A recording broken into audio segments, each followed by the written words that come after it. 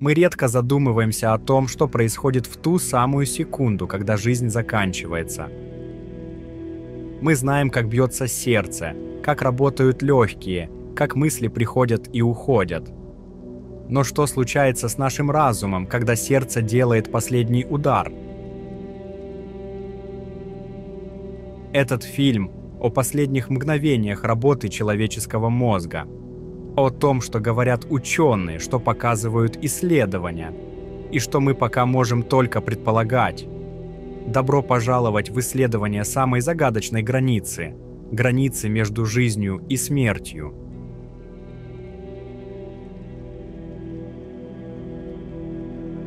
Смерть часто представляют как мгновенное исчезновение.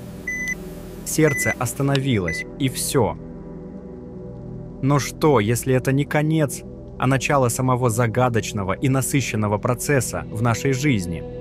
В 2022 году канадские врачи случайно зафиксировали электрическую активность мозга пациента прямо в момент смерти.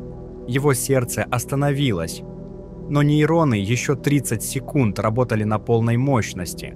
Самое удивительное, активность была не хаотичной, а в виде гамма-волн – Именно они связаны с яркими воспоминаниями, эмоциями и осознанием. То есть в момент смерти мозг не затухает, а вспыхивает как последний фейерверк. Ученые называют это нейронным салютом, моментом, когда миллионы цепочек памяти активируются одновременно.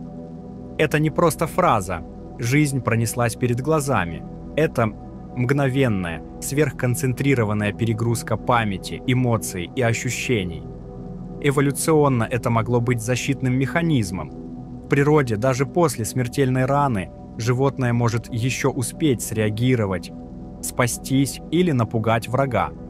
В 2013 году команда Мичиганского университета исследовала мозг крыс в момент смерти. Через 30 секунд после остановки сердца активность достигала пика, превосходящего показатели бодрствования. Подобные всплески замечали и у людей в реанимациях. Ощущение, что мозг делает последнюю попытку сохранить все важное перед отключением. Многие, кто пережил пограничные состояния, описывают странное чувство. Время будто замедляется. Это не мистика. Гормональный шторм, выброс адреналина, эндорфинов, дофамина меняет работу мозга. Секунды могут ощущаться как минуты. В момент смерти, возможно, мы успеваем прожить целую, дополнительную жизнь в субъективном времени. Существует и другая гипотеза. Мозг не генератор, а приемник сознания. Как радиоприемник ловит волну. Тогда момент смерти – это не исчезновение, а разрыв соединения. И последние импульсы, которые мы ощущаем – это эхо уже уходящего сигнала – этот взгляд объединяет нейронауку и философию, оставляя место для того, что мы пока не можем измерить. Хирурги и реаниматологи иногда сталкиваются с тем, что пациенты, находившиеся без пульса, позже вспоминали события в палате.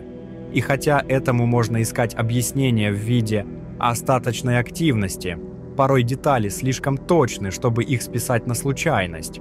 Мы еще далеки от полного понимания, где заканчивается биология, и начинается то, что выходит за ее пределы. Если момент смерти – это концентрат всей жизни, то, возможно, именно он несет главный смысл. Зная, что мозг не умирает мгновенно, мы иначе смотрим на собственный конец и на то, что будет в эти секунды.